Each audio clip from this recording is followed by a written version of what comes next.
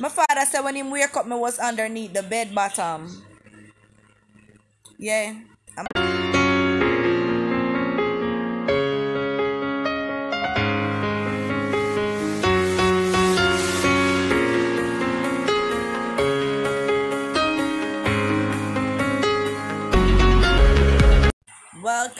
back to my channel. You know, it's your girl Sasha, and we are the Heavenly Family. So, guys, today I'm just home. They are the Guan Gunwa story time for Guan watch. So, if you're new as normal, we ask you guys to subscribe, like, and share. Hit post notification bell so you guys will never ever miss a video okay guys and also leave a comment down below. Tell us what you think about this videos. Guys we're grateful for the support. We need you guys to go and watch all my videos like and share them to family friends to share them to everyone that you guys are able to share with. So we do appreciate all the love all the energy all the time you guys put out watching our videos and commenting. We're grateful. So guys so yes this is duppy experience part two my story so when i was small maybe five or so my father asked my older cousins to go pick cerasee. So you know me and the youngest one are almost the youngest one I would say. Did they? So you know me enough more and go with them and stuff. So anyway, me there front. Like I me a lead. Me know it's cerasee so me there front.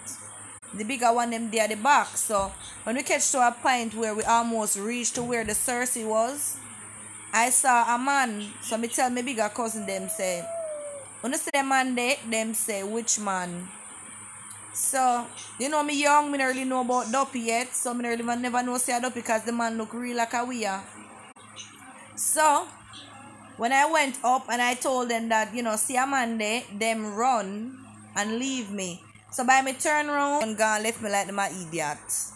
And me a youngest one them to protect me. So anyway, them run gone cause me know if me shouldn't their front, should their back. So when I went up there and I was looking, the man get, get up from where he was sitting and say, What are you looking for?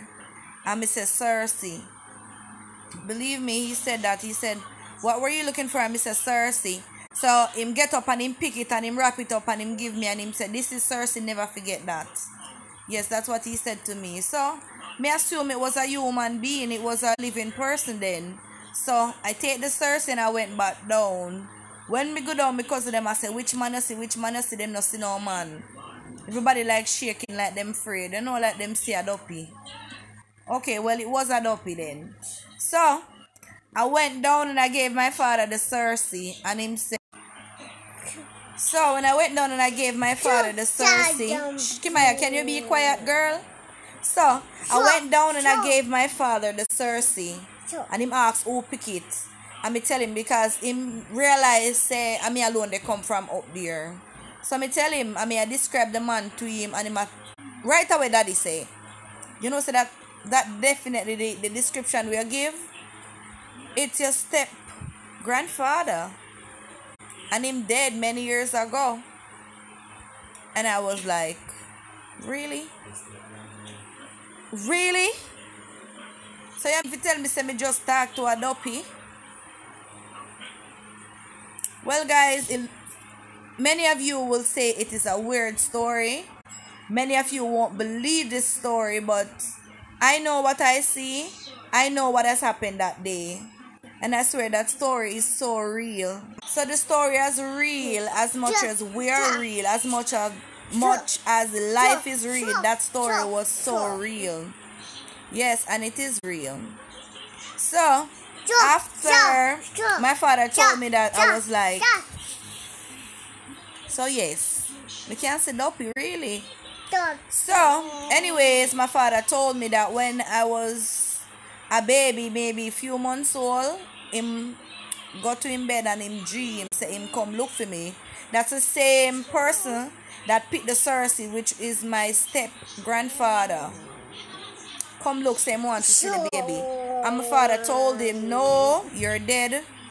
Then I see the baby. So the surprising thing what hit me is that one. My father said when him wake up, me was underneath the bed bottom. Yeah. And my father said him dream that him take me up and they go with me. So he was leaving with me, maybe want to take me for a walk, etc. I don't know.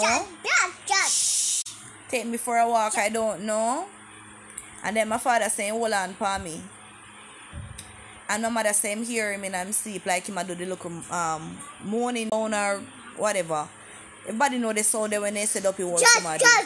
Kimaya, be quiet. Well, everybody know that the sound that people make when them set up he hold them. I know if nobody ever hear that, but in time people they sleep and you hear them like them a ball in them sleep or then they're moaning in them sleep, them set up he hold them down. Me don't know how true that be. Okay? So the surprising thing what hit me as me say, all the one kind of think about that.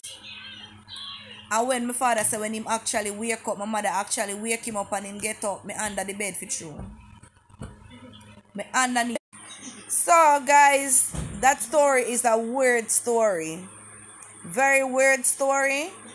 I know many of you guys may have stories like this or experience stuff like this or you know parents and the things like this. So really and truly guys, that story was a real story. Real, real experience. It was so real that I didn't believe it was a duppy or a spirit, whatever it may be. I don't know how that is possible that I actually see these things, but it's reality. It's so guys, if you enjoy this video and you want part 3 story time and you want to hear more of my stories, like and share, hit post notification bell so you guys will never miss a video. Don't forget to comment. Don't forget to share this video. Don't forget to like up this video. And remember, guys, we are definitely hoping for you guys to help us so we can reach our goals. So guys, support us. Share this video all over the world. You know, we need the support because when you guys support me, anytime I reach my goals, I'm going to help someone. So guys, until next time, it's your girl Sasha. I'm out.